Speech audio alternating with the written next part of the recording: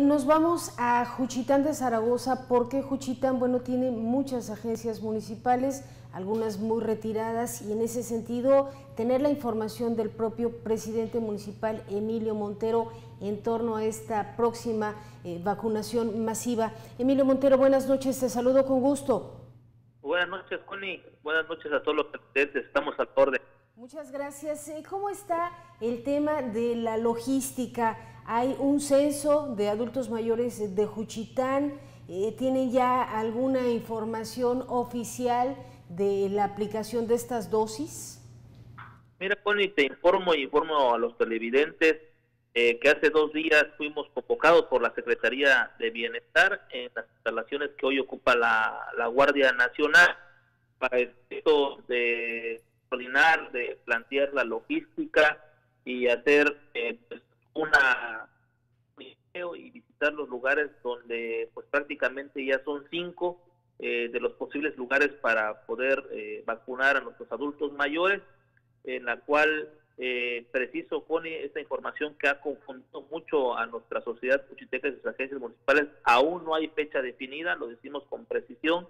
lo que sí puedo decir y asegurar por instancias de la Secretaría de Bienestar es que ya estamos a unos días, ya estamos a unos días para no errar en esta información, porque se ha dado información que ya va a ser este sábado, que va a ser este domingo. Lo que sí puedo decirte, Connie, que ya como ayuntamiento que estamos coadyuvando con las dependencias federales de bienestar, es que ya estamos preparados para que pueda eh, aplicarse la vacuna con la infraestructura, los lugares que ya están eh, contemplados, como es el Instituto YESID, la Escuela Daniel C. Pineda, el Tecnológico del Istmo, y también eh, la escuela eh, secundaria Eleodoro Chávez Castro y el último punto es el auditorio de la Lorenza Santiago.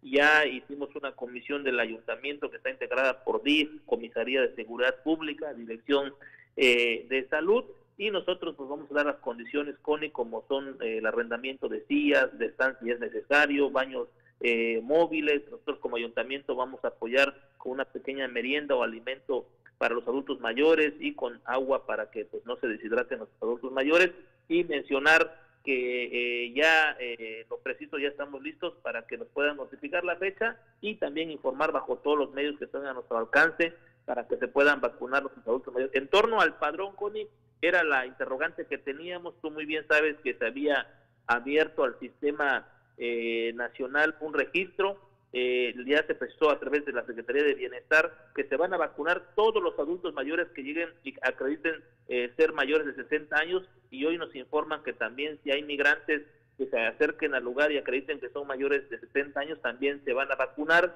porque esa era la duda si no se había registrado que si cuántas vacunas iban a llegar si era el padrón del INE de si era el padrón del INEGI se van a vacunar todos los adultos mayores que lleguen con y también eh, manifestar que no sabemos, no sabemos si va a ser dosis única o si es la primera dosis, para no estar mal informando. Lo importante es que ya en unos días, a la brevedad, vamos a estar ya vacunando a nuestros adultos mayores y por supuesto que el ayuntamiento está coadyuvando eh, en toda la logística para poder hacerlo de manera coordinada.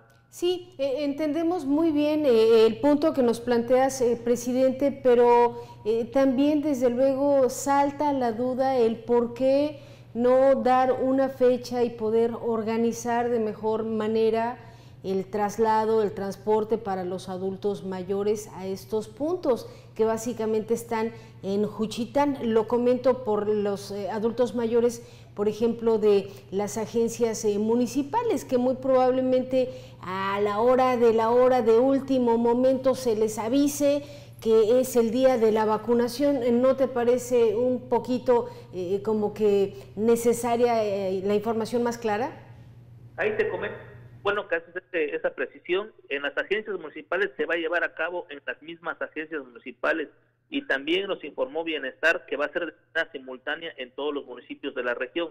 ¿Qué quiere decir con esto? Que el mismo día, durante, durante tres días, durante tres fechas será en las cabeceras municipales. En torno a mi municipio que me toca hoy eh, presidir en las agencias municipales será por un día. Cuando ya se determinen las fechas eh, las agencias por ser de menor cuantía número de habitantes pues en un solo día ya se especificó ya se visitaron las agencias también van a ser en todas las esplanadas los domos municipales que tienen las agencias y en Cuchitán van a ser por tres días en los puntos ya indicados, ya lo supervisamos, ya vimos la logística de vialidad, la seguridad de la y también del, servicio de sanitarios Y en torno a la fecha, Connie, pues es una información que debería presentar la dependencia.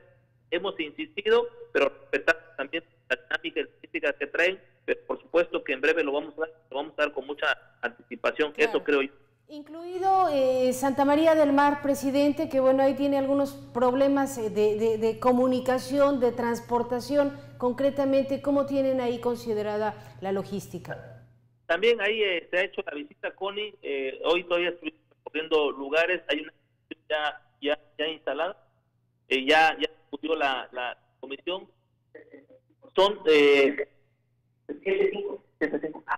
son 75 adultos mayores los que se encuentran en esa agencia y afortunadamente pues esperemos eh, que también la, el clima nos permita ingresar, que ahorita pues prácticamente no ha habido fuertes vientos, pero ya también se hizo la visita en esta agencia pues complicada eh, en su forma de su acceso con Repíteme, por favor, Emilio, los lugares que ha dispuesto el ayuntamiento para los adultos mayores de Juchitán, de sus agencias y también los migrantes, por favor.